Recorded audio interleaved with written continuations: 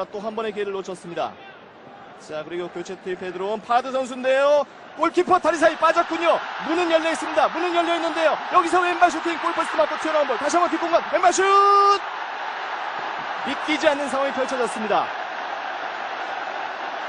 교체 투입해 들어온 파드 선수가 결정적인 이 기회 아무도 없는 무인 지경 이것을 왼발로 밀어넣어봤지만